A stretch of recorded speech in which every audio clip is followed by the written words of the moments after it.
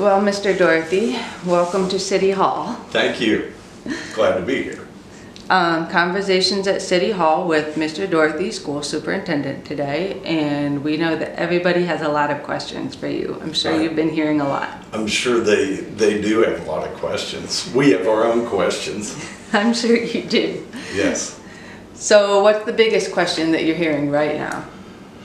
Well, I think the biggest question is will we be in school in session or are we still going to be doing some sort of online session Well, I mean, fall? I want to know that. I'm a terrible teacher. Well, I know that's been difficult, a big challenge for parents and trying to make that work. We're still trying to work and, um, and, and it's not their expertise. But, uh, so, uh, our goal right now is to be open in, in August like normal. Um, there are a lot of questions that have to be answered before that can happen. Um, the county health department has a lot of control over who, uh, how will open and when and, and what the rules will be and guidelines for, for a, um, for an opening. So I heard you say that school will be reopening if possible like normal this year. What does like normal mean? Well, normal will change. Right. Um, I'd love to say that we'll start just like every year and it'll be normal and kids will ride the buses, parents will drop them off and we'll have school like, like what someone would say is normal. Right. So we'll have a new normal. That new normal will probably mean we're taking temperatures of kids indoors. We'll be asking questions uh, about symptoms, Right. that kind of thing. Possibly uh, staff and students all wearing masks so that we can operate. Uh, Possibly everyone trying to keep six feet apart. Uh, Possibly uh, classes of students trying to stay in smaller groups and then not mixing with other classes at the school so we So can. bubble concept. Yes, kind of, uh, kind of keeping it into a smaller group, a cohort group, as you would say, uh, so the spread doesn't go into more than that group. Right. Uh, So those are some of the things that we're looking at for this fall. Uh, Sanitizing our buildings, what will that include? Hand washing, hand sanitizer, uh, sanitizing the classrooms. How often does that need to happen? Do we have enough supplies for all of that? Those are all of those new normal things. That's a lot of logistics. Yes. And of course, legally, there will, that, that- a lot of whether you reopen at all will be up to the health department. The health department will make the final call on whether we open in the fall or not. Okay. Right now, I believe they're saying you're going to open, but it's going to be under these rules and guidelines. So uh, that's our goal right now is to open in the fall. And what that looks like, we're working on right now. Right. And everybody, of course, wants to know all the details right now. Sure. The truth is. Everybody would like to know now, and I wish I could tell them, but it might be late July before I can tell them, here's exactly what this is going to be. Right. And of course, everything is subject to change even in late July. Even in late July, they could tell us the first day of school, planned day of school, and say, sorry, you're not opening because we've had this breakout.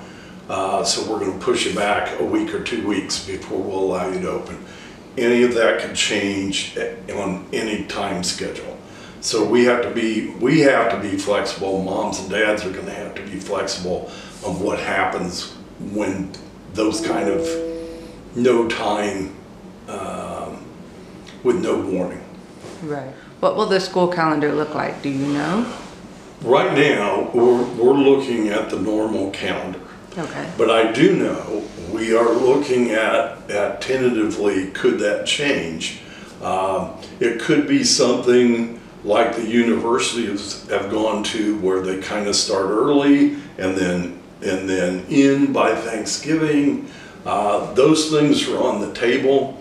Uh, I don't know that that will happen. I think first of all, we're gonna try and run our school calendar like we normally do. Okay. But there may be some advantages to shifting that um, to when we have the kids going to school and less chance of breakouts. Uh, So I think there's a chance that calendar could change. Would you be willing to spell out some of the rationale behind the idea of switching calendars? Uh, Yeah, the idea being that you're trying to avoid those heavy um, times uh, when you have infections like the flu. I mean, we know how the flu works for us. We go through that every year. Right. Uh, we don't know that this is exactly the same as that, but Right. you're trying to take advantage of here's this time and window. We'll try to get education in here between those times of high incidence and then try to uh, go to other times. The other thing is waiting for that vaccine. Right. Hopefully, they're optimistic they'll have a vaccine by around the first of the year.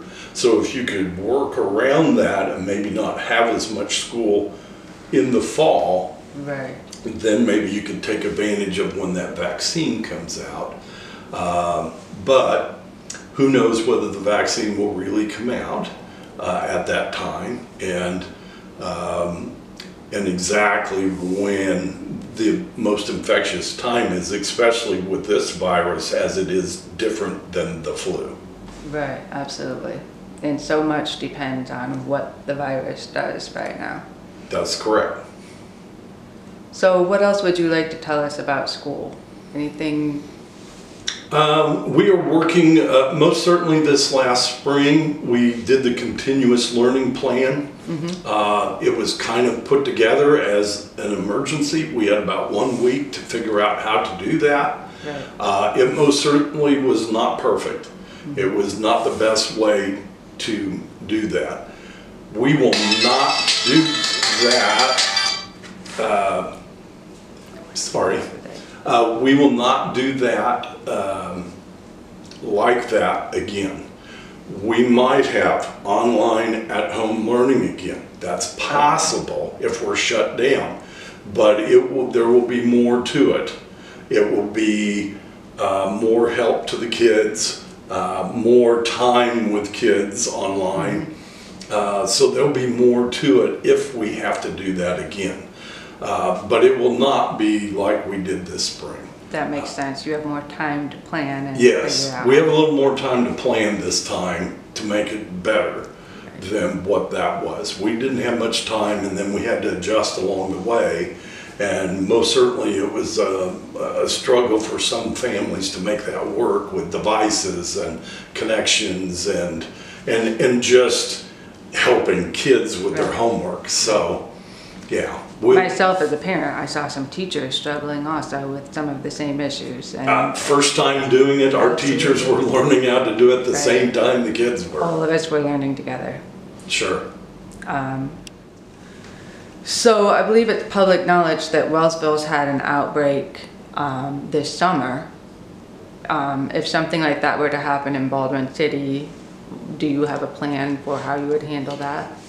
Well, yes, we would probably suspend our programs uh, that we have right now and most certainly seek advice from the county health department on what our next steps would be. Uh, Our program that we're running this summer, all of our programs we've run, we're running this summer were approved by the health department Right. based on, on what we're doing. Uh, If we had a breakout of some kind in there, then we would have to stop, suspend that until we could check with them and say, what, what do we do? Uh, Strong chance that those programs would be suspended at least two weeks, the 14 days, uh, before we'd start them back up again, or maybe not start them up for a longer period of time than that. Understood. And the important thing there is that you're working hand in hand with the health department. Correct. Uh, We're in contact with them, uh, all- I won't say daily, but quite often. If it's not me, it's one of the other staff members making contact with them to say, is this an okay protocol Right. for, for doing this program? Right. So absolutely. And the school district is, seems to be very focused on making a solid plan for the school year coming up. with everybody's safety in mind. Correct, and we're involving a lot of people in that. Most certainly, it's, it's staff leadership now, but we're involving teachers. We will be involving parents, we'll have some surveys going out, but we will also be probably sitting down with the site councils, the district and building site councils to say, are you comfortable with this plan? Or what are your concerns before we roll this thing out to everybody? Right, absolutely. And again, you're looking at a potential late July timeline to roll out a plan. Yes, hopefully, Understood. yeah. Thank you for your time, Mr. Dorathy. Sure, glad to be here.